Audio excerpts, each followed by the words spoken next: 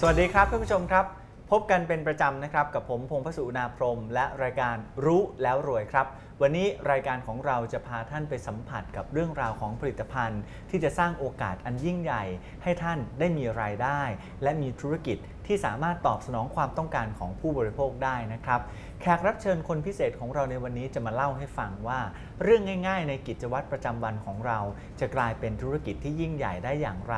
เรามาพูดคุยกันเลยดีกว่าครับ กับผู้บริหารระดับ Paradise คุณสำรวยโอลานพัฒนาชัยครับ สวัสดีครับ สวัสดีค่ะ เมื่อกี้นี้ผมเกริ่นเอาไว้บอกว่าเรื่องง่าย ๆ ในชีวิตประจำวันเนี่ยจะกลายเป็นธุรกิจที่ยิ่งใหญ่ได้อย่างไร เพราะว่าผมกำลังจะให้ท่านผู้ชมได้สัมผัสกับว่า แค่เรื่องที่ผิวหน้าค่ะการทำความสะอาดผิวหน้าหรือที่พวกเราเรียกว่าการล้างหน้าเนี่ยมันสามารถสร้างเศรษฐีได้ครับพี่รวยค่ะโดยเฉพาะอย่างยิ่งผลิตภัณฑ์ที่เกี่ยวข้องกับการทำความสะอาดผิวหน้าของกิฟฟารีนเนี่ยค่ะเป็นตัวที่พี่พี่รวยชื่นชอบด้วยค่ะใช่นะครับค่ะพี่รวยชอบผลิตภัณฑ์ทำความสะอาดผิวหน้าตัวไหนของกิฟฟารีนบ้างครับค่ะที่ชอบมากที่สุดเลยนะคะ จะบอกว่าตัว Deep Cleansing Oil อ่าครับนะคะก็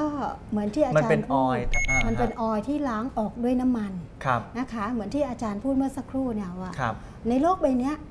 ทุกคนน่ะต้องครับล้างหน้าใช่แต่มีอยู่สองประเภทครับหนึ่งคนที่ไม่ได้แต่งหน้าครับหมายความว่าก็เหล่านั้นน่ะก็อาจจะเลือกผลิตภัณฑ์ที่เป็นโฟมอ่า ก็เป็นได้ครีมแล้วแต่อ่าแล้วแต่ที่เหมาะกับสภาพผิวของครับเขาครับแต่ที่เป็นปัญหาและก็อืมละเลยไม่ได้เลยอืมก็คือคนที่แต่งหน้าในชีวิตประจำวัซึ่งนมีเยอะซะด้วยสิเยอะค่ะอ่าคนไทยเยอะค่ะครับมันแล้วบางคนนะค่ะพี่รวยถึงแม้ว่าเขาไม่ได้แต่งหน้าแบบเต็มที่นะค่ะแต่บางคนก็ทาครีมกันแดดใช่บางคนก็ทาแป้งค่ะแม้ว่าแค่กันแดดกับแป้งนี่เราก็ถือค่ะว่าตอนทำความสะอาดนี่ก็ต้องสำคัญนะำคัญมากเลค่ะยเพราะค่ะบางคนล้างครีมกันแดดออกไม่หมดก็ก่อค่ะให้เกิดความเขาเรียกการอุดตันได้ สิวอุดตันนะครัคะบแล้วก็ครับทำให้หน้ากร้านดูครับหน้าหยาบกร้าน เพครัราะบฉะนั้นเนี่ยก็เลยติดใจตัว Deep Cleansing Oil ของกิฟฟารีนครัราบคาถ้าไปเทียบกับ counter brand ดังครับราคาของเราไม่สูงมาก Deep Cleansing Oil ที่พี่ค่ะรวยพี่รวยชอบเนี่ยที่บอกว่าติดใจไปค่ะติดใจตรงไหนของ Deep Cleansing Oil ค่ะตอนแรกด้วยคำว่าออยครับ ก็ส่วนใหญ่แล้วคำว่าออยจะมีความรู้สึกว่าเอามันมัน ต้องมันอืมต้องเหนอะครัแต่บจริงๆแล้วพอสัมผัสได้เลยว่าโอ้โหดิฟคลีนซิ่งออยเนี่ยครับ เขาล้างออกด้วยน้ำมันเขาไม่ได้มันไม่ได้เหนอะเลย วิธีใช้นี่ใช้ค่ะยังไงฮะวิธี สมมุตินี่ Deep Cleansing ค่ะ Oil วิธีการใช้ครับ นะคะ ก็คือ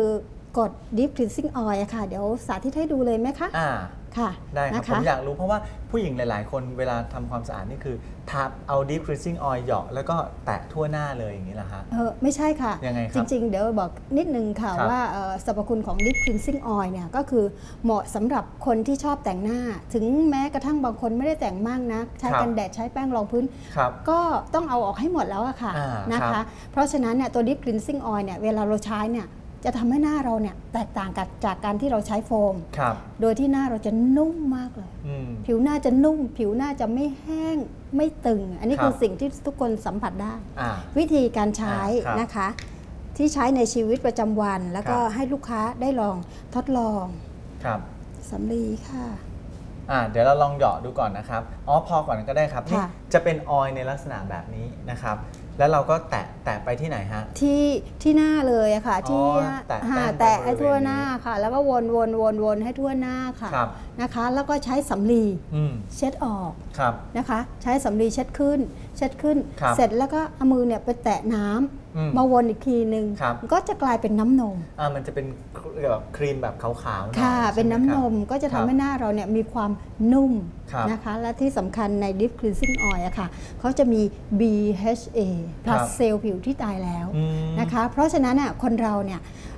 การผลัดเซลล์ผิวต้องผลัดทุกๆ28 วันครับแต่พออายุล่วงเลยไปแล้วครับมันไม่ผลัดแล้วค่ะครับต้องใช้กรรมวิธีขั้นตอนการล้างหน้าที่ถูกต้องอืมหรือทีขั้นตอนสปาหน้า ทีนี้พอเราทำความสะอาดเสร็จแล้วค่ะเราเอาน้ำเนี่ย มาวนวนวนจนมันเป็นเหมือนน้ำนมเสร็จแล้วเนี่ยใช่ค่ะ แล้วเราล้างออกด้วยน้ำสะอาด ล้างออกด้วยน้ำเปล่า ล้างออกด้วยน้ำต้องใช้ค่ะ สำลีควบคู่กันไปด้วยไม่ต้องหครับ แล้วอะค่ะ ครับ เพราะว่าสำลีเราใช้ในขั้นตอนที่อ๋อขั้นตอนแรกแล้วขั้อะนตอนค่ะ แรกแล้วเอาใช่หยอดค่ะ ใส่สำลีแล้วก็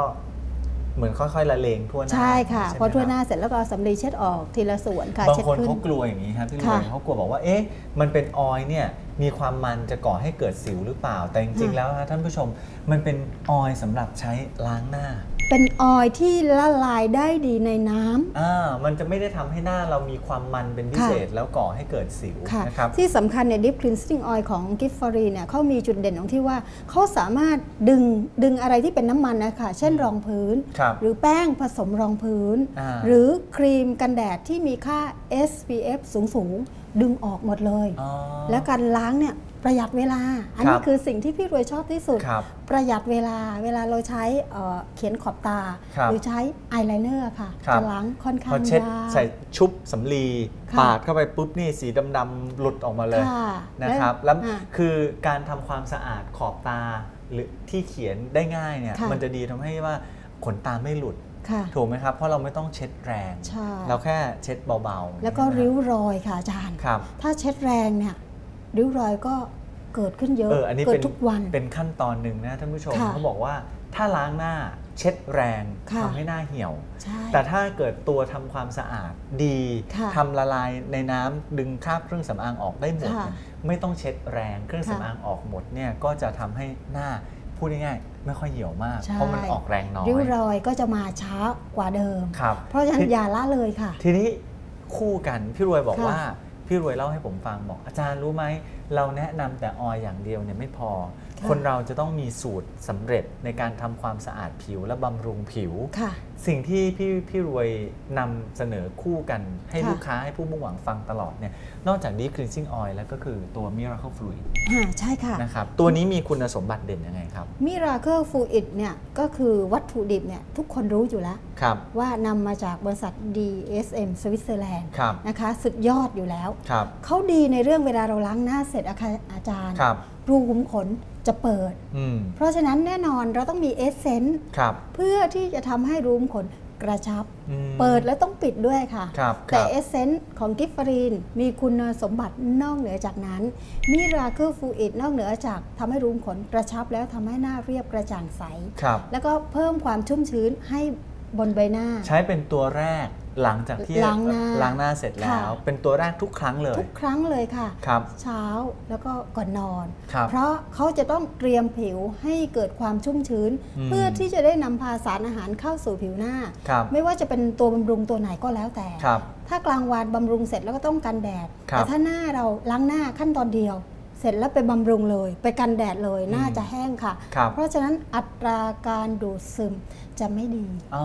มันค่ะก็เป็นเหมือนกับการเตรียมผิวก่อนที่จะรับการบำรุง อ่าใช้เป็นครั้งแรกเลยหลังจากใช่ล้างหน้าค่ะเสร็จนะครับใช่ Miracle Fluid ของเรา ค่ะ นั่นก็คือคู่กันคู่กันนะค่ะ Deep Cleansing Oil แล้วก็ตัว Miracle Fluid ค่ะแต่หลังจากนั้นแล้วเนี่ยตอนเช้ากับตอนเย็น ท่านผู้ชมค่ะฮะเรากำลังจะคุยกันเรื่องของใบหน้า ค่ะมันเป็น พื้นที่ที่คนหวงแหนมากที่สุด ค่ะถูกไหมพี่ ใช่ค่ะเพราะฉะนั้นตอนเช้าเนี่ยหลังหลังจากที่เราล้างหน้าเสร็จแล้ว ค่ะหลังจากที่เราใช้ Miracle Fluid แล้วเนี่ยค่ะ อะผมถามเคล็ดลับพี่รวยก่อนตอนเช้าเราต้องใช้อะไรต่อ กันแดดเหรอ ต อนตอนเช้าใช่ไหมคะอ่าพอพอเสร็จใช้จากตรงนี้มิราเคิลครับ เสร็จเนี่ยต้องใช้บำรุงบำรุงครับฮะเพราะเมื่อกี้เตรียมผิวด้วย Miracle ให้ความชุ่มชื้นครับเสร็จแล้ว เราต้องนำพาสารอาหารบำรุง ครับแต่จะเป็นเนื้อบางสักนิดนึงค่ะ ครับส่วนเอ่อพี่รวยใช้ก็จะเป็นพวกรีแพรี่อ่านะคะครับรีแพรี่ทั่วหน้าเลย แล้วก็ตามด้วยรอบดวงตาครับ ค่ะ แล้วถึงจะไปด้วยกันแดด แต่วันนี้สิ่งที่เป็นไฮไลท์สำคัญ เรียกว่าค่ะเป็น 3 นางเอก ค่ะที่พี่รวยพกไปไหน แนะนำให้ใครทุกคนค่ะสามสามสามผลิตภัณฑ์นี้ค่ะ เป็น 3 นางเอกที่มักจะไปคู่กัน ค่ะ ล้างหน้า